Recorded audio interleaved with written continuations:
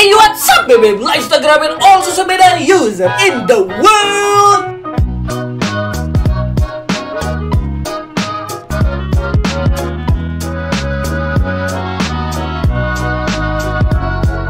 Oke my friends sama bro semua back with me Raden Dandi Gue Renata A.K.A. Bang Edun Di channel yang paling Edun Pisun Oke dan brother-brother gue semua Bujang-bujang gue semua. Jadi sebelum kalian lanjut videonya Kalian coba klik subscribe dan subscribe itu gratis Tanpa tanpa biaya apa pun. Dan notification untuk video-video Selanjutnya nih teman-teman semua Oke guys, balik lagi di konten SSB Sekolah sama Bang Edun. Dan di video kali ini gue akan merekomendasikan 5 AMF terbaik di PES 2021 Mobile. Dan tentunya balik lagi teman-teman semua Ini menurut gua. Jadi kalau kalian punya pendapat kalian sendiri Gua ada kolom komentar untuk kalian isi di bawah. Jadi kita sama-sama diskusi Dan siapa tahu Rekomendasi dari gua bisa kalian gunakan, siapa tahu juga rekomendasi kalian yang di komentar bisa juga digunakan oleh gua. Jadi kita saling berdiskusi satu sama lain.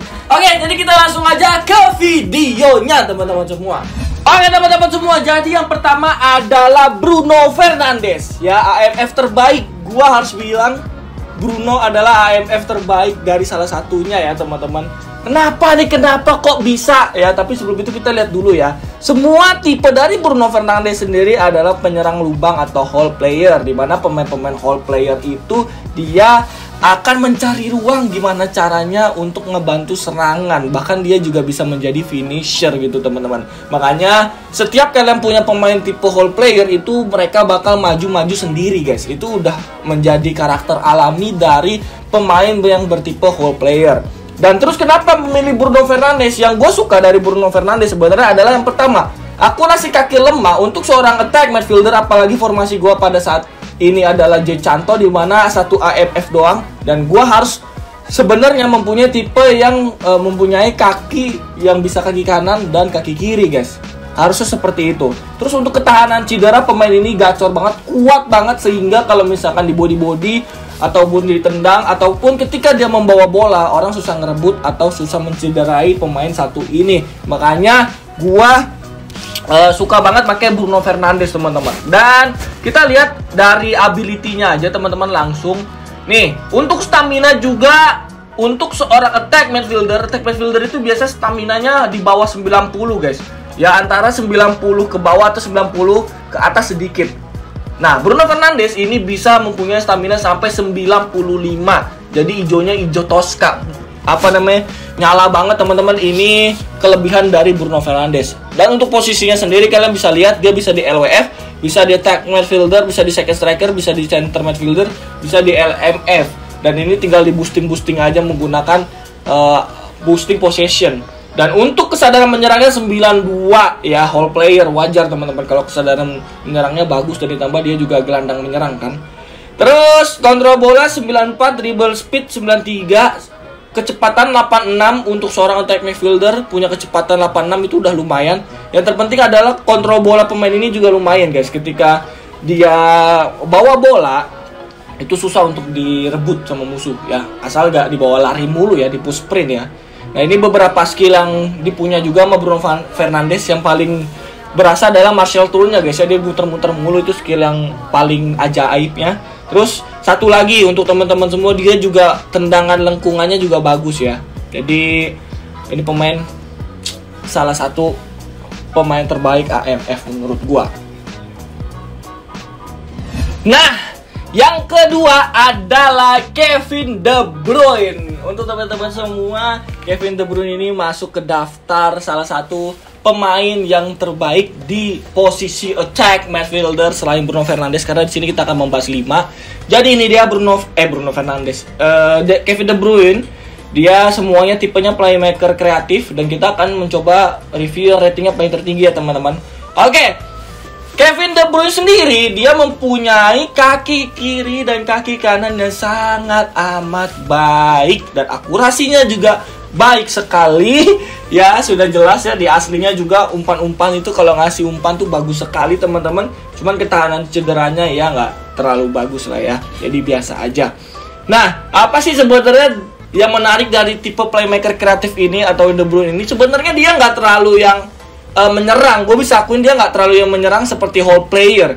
Tapi yang menarik dari Kevin De Bruyne adalah umpan-umpannya teman-teman. Sehingga kalau misalkan memang kalian menggunakan attack midfielder itu untuk menjadi apa namanya ya asis ya suka oper-operan pemain De Bruyne ini cocok guys ya tipe yang mempunyai tipe playmaker kreatif ini cocok untuk kalian gunakan di squad kalian. Kita bisa lihat aja dari apa namanya dari ability-nya, kesadaran menyerangnya 93, kontrol bolanya 96, dribble speednya 95, take possessionnya 96, umpan rendah umpan lambu 99. Nah, itu membuktikan bahwa pemain ini memang bagus banget untuk kalian gunakan sebagai pengumpan handal ya guys. Atau kalau misalkan mau nendang ya tendangan lengkungnya tuh arahnya bagus banget. Kaki kanan kaki kiri juga hidup. Jadi lengkungannya bisa dimaksimalkan dengan baik. Oke selanjutnya untuk uh, dari ability yang kecepatannya memang kurang akselerasinya pun juga kurang. Emang agak lambat tipe pemain ini ya. Si De Bruyne ini emang lumayan lambat tapi itu gak jadi masalah karena memang De juga nggak terlalu menyerang guys. Dia lebih ke oper-operan. Jadi cocok lah untuk teman-teman semua yang memang membutuhkan apa ya sering bermain tiki taka dan juga umpan-umpan lambung seperti itu ya guys ya. Dan ini dia beberapa apa namanya keahlian dari pemain Nah, yang ketiga kita ke legendary yaitu ya ini sih sebenarnya gak usah ditanya teman-teman. Yaitu adalah Ronaldinho. Siapa sih yang nggak tahu Ronaldinho teman-teman? Dia rajanya bola guys ya.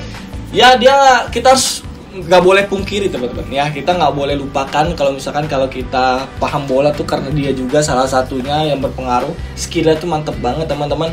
Dan semua tipenya adalah klasik number 10 simpelnya klasik nomor 10 itu uh, satu pemain yang punya berbagai banyak skill kemampuan oper-operan defense menyerang itu jadi satu gitu itu tipe klasik nomor 10 guys ada di siapa aja sih tipenya? Ada di Ronaldinho, Francesco Totti itu punya ya salah satunya ya.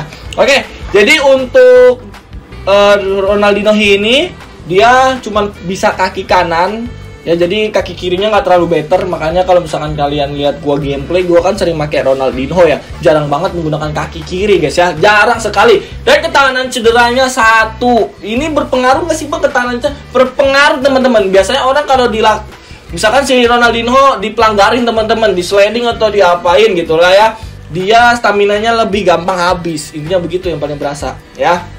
Dan ini untuk posisi yang bisa dimainkan oleh Ronaldinho sendiri bisa di LWF, second striker, AMF, RWF, RMF, center midfielder dan LMF. Dan untuk ability-nya, kesadaran menyerangnya memang bagus sekali. Ini juga membantu serangan juga teman-teman. Kontrol bola juga aman enjoy, dribble speed juga 99, possession juga Uh, 98 lengkungannya memang kalah ya sama si De Bruyne. Tapi teman-teman kalau misalkan kalian beneran mainin pakai si Ronaldinho itu lengkungannya GG banget coy. Jadi jangan uh, gak jadi gak bisa jadi patokan juga sih 93 ini.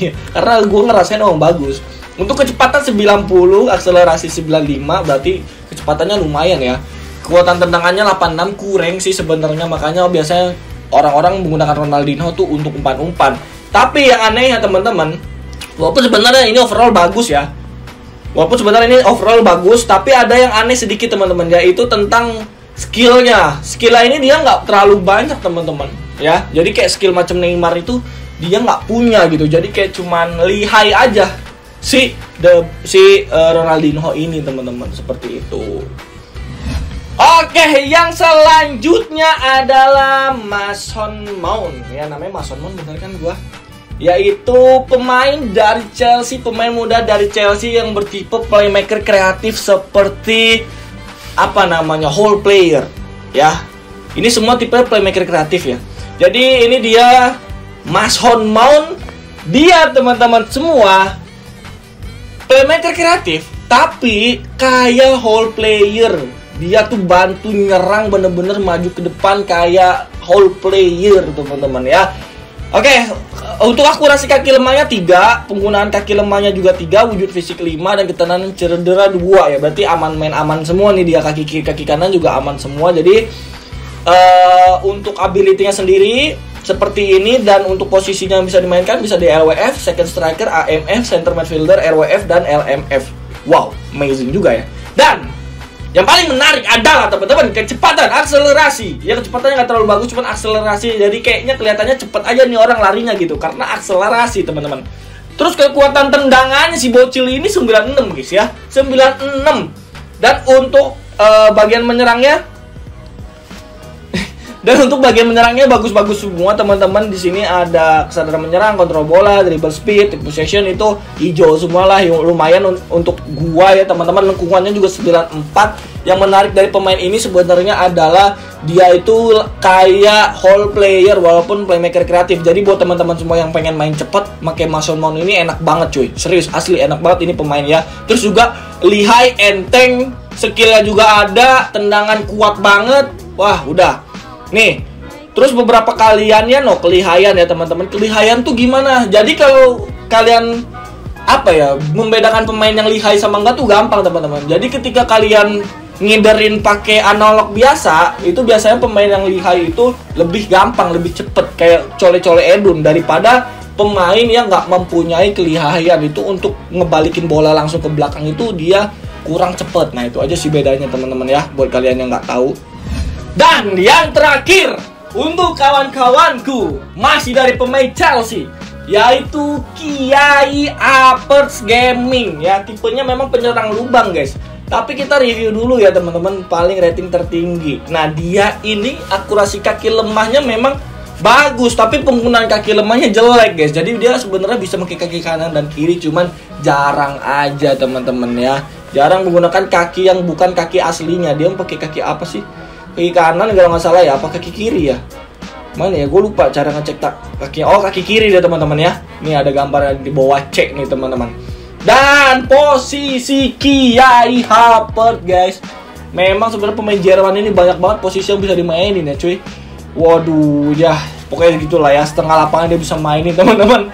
Dan untuk skillnya dari Kiai Havertz kecepatan 98 tapi berasanya kayak berat guys. Tapi cepet teman-teman. Berarti tipenya adalah kayak si kakak ya.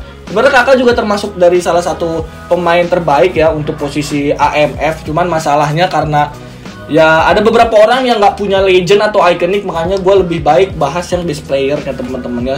Biar kalian juga bisa make intinya begitu. Makanya gue bahas 5 legendnya juga nggak banyak. Begitu teman-temanku ya untuk kesadaran menyerang 89, kontrol bola 97, dribble speed 95, tip possession 94, umpan rendah, umpan lambungnya juga bagus, penyelesaian 91, sundulan 89, eksekusi bola mati 87, lengkungan juga 87, kecepatan 98. Uh, amazing. Dan beberapa skill yang bisa dia mainin ya. Crossover crossover turn, finishing akrobatik, tendangan jarak jauh, long range shooting. Wah, banyak ya dia tendangan dari jauh jauhnya bagus.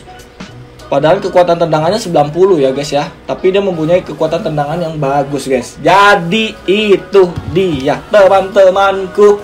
Ya sedikit informasi soal pemain-pemain Yang mempunyai Ya lebih spesial dibandingkan AMF lainnya ya. Jadi itu ya 5 terbaik. Dan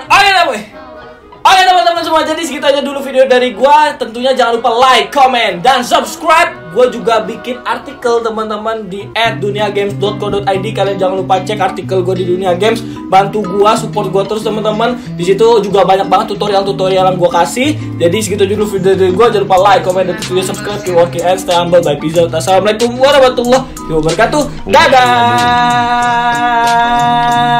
死んでいる Smoking